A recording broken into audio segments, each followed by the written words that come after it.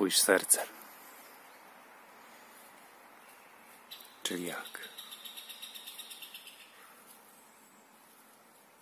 Zazwyczaj patrzymy umysłem. To nie oczy widzą, ale umysł. Dlatego artysta widzi świat inaczej. Inżynier jeszcze inaczej.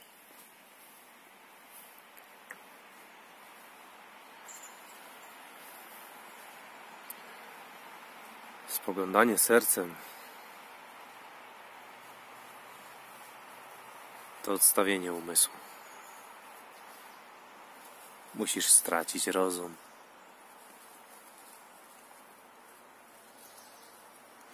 Nie chodzi tu o jakąś manipulację umysłem, by zmienić swoje myśli, by otrzymać coś innego. To jest poziom fizyki kwantowej, gdzie obserwator, obserwujący, czyli ty, całkowicie definiujesz to, co doświadczasz. Bardziej ezoterycznie brzmi to prawem przyciągania. Gdzie twoje myśli są jak wibracje z radiostacji, impulsy, które przyciągają daną rzecz, dane doświadczenie.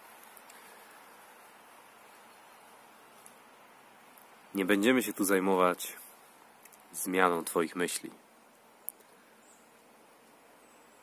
ale pozbyciem się ich, pozbyciem się Twojej tożsamości. Bo widzisz, jesteś nienaturalny. Natura, natura to obfitość. Spójrz na drzewa, na wiosnę.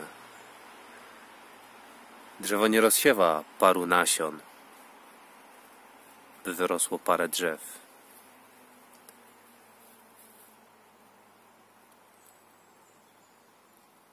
Drzewo rozsiewa miliony. Daje z siebie wszystko.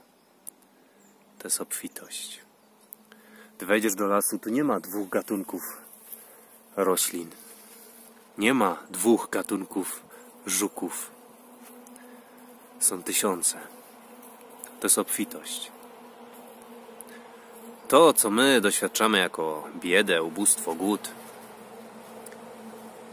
jest nienaturalne. Jeżeli czegoś ci brakuje, to jesteś nienaturalny. Straciłeś swoją naturę. Utożsamiłeś się z myślami. Nieważne jakimi. Za sprawą rzeczy, za sprawą umysłu rzeczy się pojawiają, stają się realne dla ciebie. I za sprawą tych rzeczy umysł się pojawia i ty stajesz się realny. To jest jednoczesne. Także zamiast szukać prawdy, porzuć swoje poglądy. I to się odsłoni. Jest tak, nie możesz nauczyć się miłości, ale możesz zobaczyć wszystko to, co stoi na przeszkodzie do doświadczania jej. I tym jest spoglądanie sercem, w mojej opinii. Bo mówimy o opiniach, to zawsze będzie moja opinia o czymś. Chcę, żebyś dobrze to zrozumiał, że nawet Twoje zrozumienie będzie opinią o tym.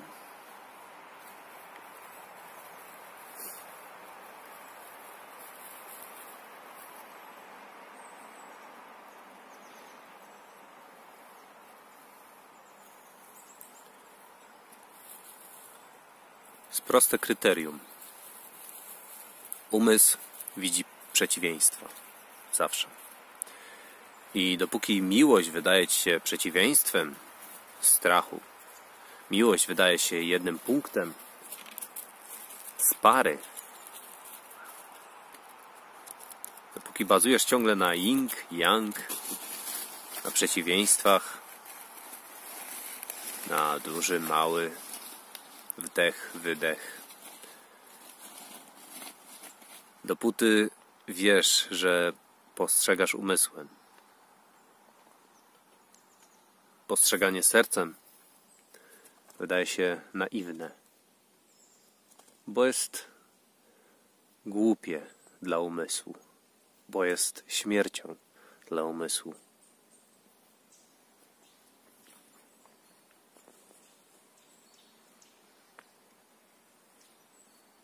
Dlaczego negatyw? No właśnie. Żebyś wiedział,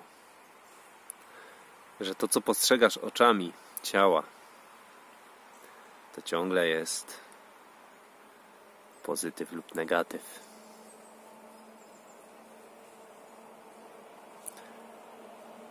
Gdy porzucisz zarówno dobro, jak i zło,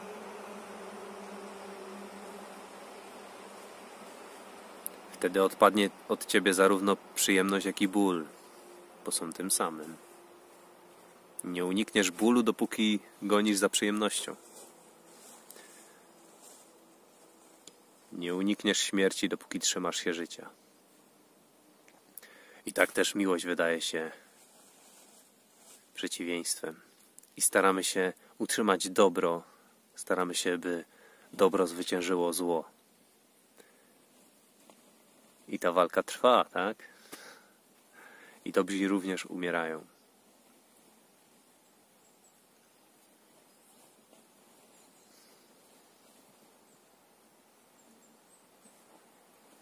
Niewinność serca, spoglądanie sercem.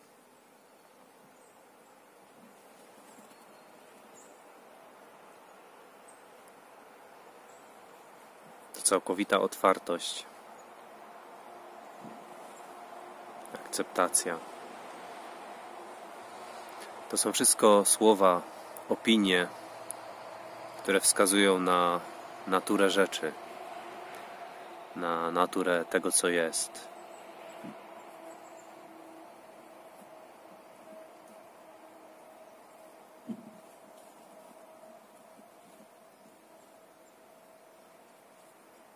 Spoglądanie sercem.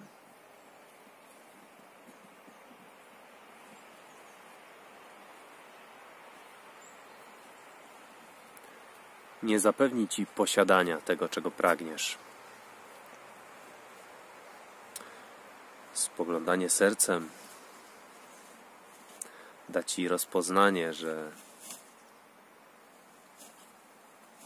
otrzymujesz to, co dostajesz to, co dostajesz, jest tym, co dajesz. Spoglądanie sercem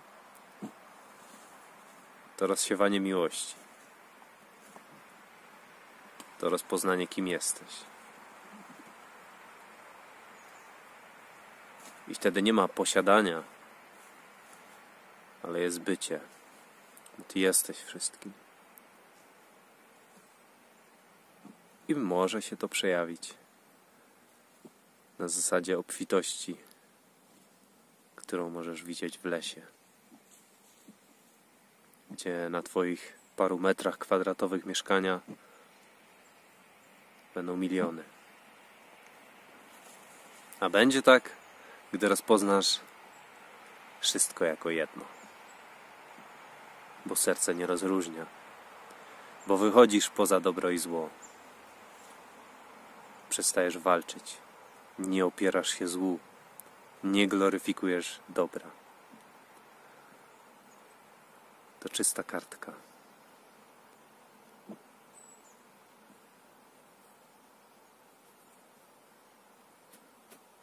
To cisza i spokój ponad zrozumienie.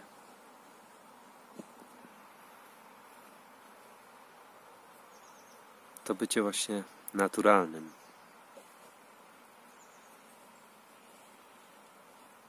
Bezwarunkowym.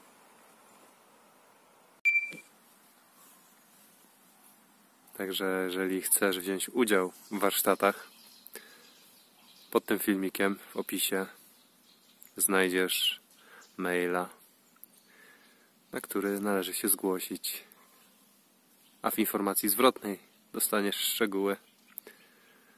Szczegóły spotkania zarówno fizycznego, jak i online, bo będzie prowadzony livestream